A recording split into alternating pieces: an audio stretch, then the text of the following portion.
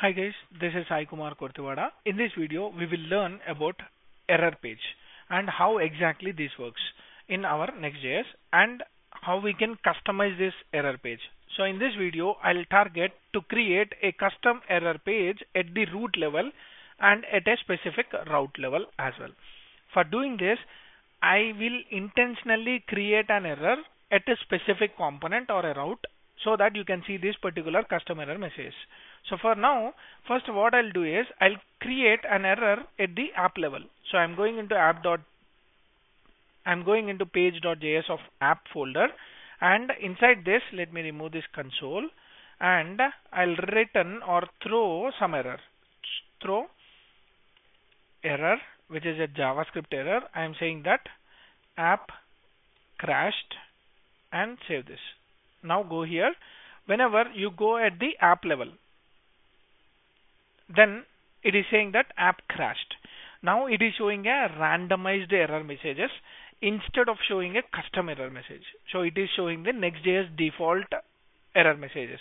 But this is not always acceptable by the customers or the end users. So that's why we will be creating a error which will happen and it will show some customized error component.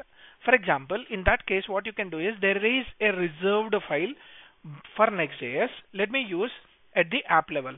So inside my app, I'm trying to create a new file called as error.js.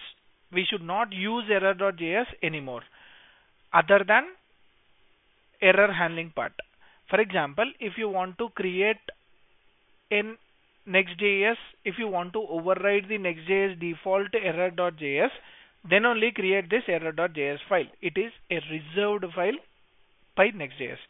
So let me export default and I want to export a default function where this function is something like app error and let me return some value from this h1 app crashed. Something like this. Save this. Now what will happen is whenever it export this value then it is it should show this app crashed. But what is happening let's see let me go here it is not our custom error message but it is the one which is given by our Next.js during the development. It is expecting error.js must be a client component. Already I have discussed what is client component and what is the purpose of client component in my previous videos. So here what we will do is the rendering or the app crashing should not happen in the server side should happen and handled by our browser. So that's why the rendering should happen only in the browser. So I will be making this as a client component. So once you add this, it becomes a client component and you can expect this one to be shown on the UI. So you can see app crashed when I go into 3000. Now what I'll do is I'll try to use this error somewhere else. Let me go into our login. Let me go into login.page.js and let me throw that error. That means anywhere, somewhere the error is happening. Now it is getting the hello world value.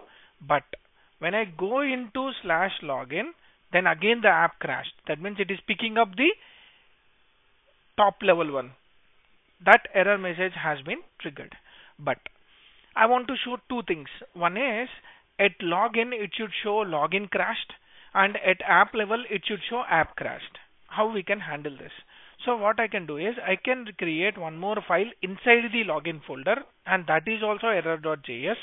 Now let me go into our error.js, copy the same code, put it over here. I'll make something like login error and this is something like login crashed and it is also a client component.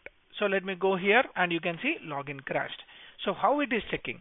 If I go into register, register does not have any problem. So it will show the register component. And let me go into something like dashboard. Dashboard does not have any problem. And once I go into login then problem caused. And when at the time of this errors what it will do is it will check in the current folder whether it has any error.js. Yes, it has the error.js. That's why it is showing this error.js. If it doesn't find that error.js, it will go one level up. So it will go into pre-login, it will search for error.js, no it is not available. Again it will go one step ahead and it is seeing an app. Inside the app, you do you have any error.js or not? Yes, we have error.js and that's why it will show the error error.js at app level.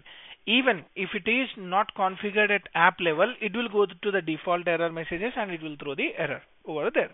So that's how you can use this error handling in your Next.js.